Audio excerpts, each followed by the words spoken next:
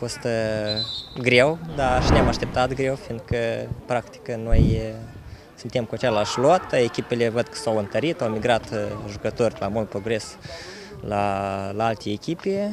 Uh, rezultatul, știi cum, uh, la 1-0 ne gândeam măcar să egalăm, pe urmă la 2-1 stârna 2-2 ne gândeam că am pierdut două puncte, în fine cred că e echitabil rezultatul, meciul foarte intens și un nou nivel. La ce capitol ați întâmpinat cele mai mari probleme? La faza de realizare, cred că dacă noi realizam tot deja, cred că erau să fie toate cele trei puncte luate și diferența de două, trei goluri era să câștigăm. Adică, practic, noi a doua repriză, din câte eu am observat, n-am avut niciun șut pe poartă și a doilea, golul de 2-2 e venit dintr-o greșeală care ei au presat și ne-au prins pe picior greșit. Adică eu am făcut greșeală, recunosc două ori. Ce obiective aveți pentru acest sezon? Dacă, sincer, încă n-am stabilit obiectivele, dar cred că obiectivul care a fost inițial ca să ne merim în play-off și deja, nu știu, cred că nu s-a stabilit, dar în primele trei noi tindem ca să ajungem. Adică...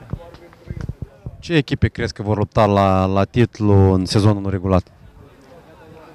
Eu încă nu pot să mai expun, fiindcă nu am văzut toate echipele. Uh, nu știu, mă așteptam de la Nistru mai mult sau ei poate nu cu toți, adică, fiindcă n-am văzut tot lotul, dar cred că Nistru, nu știu, Ecolux, mult progresul, nu știu, chiar și noi, noi o să ne străduim ca să ne facem uh, jocul și să luăm puncte de la toți, evident. Cine. Mm, știi cum, uh, anul ăsta este ireal ca noi să zicem că da, ne-am pus obiectivul primul loc, dar uh, cel mai cel mai bine o să fie după primul tur, după ce o să vedem toate echipele cum joacă sau chiar o să văd și rezumatele care și cum au jucat. Deja, fiindcă scorul nu, nu arată.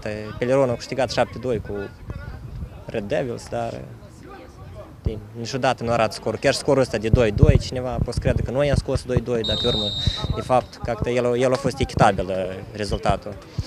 Deja vedem pe viitor cum o să fie meciurile cu celelalte echipe. Principalul noi e să ne realizăm șansele, să ne realizăm ocaziile care le avem și atunci o să fie mult mai ușor. Problema e că noi greu realizăm, ne trebuie 5-6 ocazii ca să marcăm un gol și asta e, în divizia națională asta nu poți avea permanent așa multe ocazii, mai ales când joci contra lui, lui Nistru, mult progres, chiar contra toate echipelor. Toate, toți s-au pregătit, toate s-au întărit, toate vor ca să câștige și să marcheze cât mai multe goluri.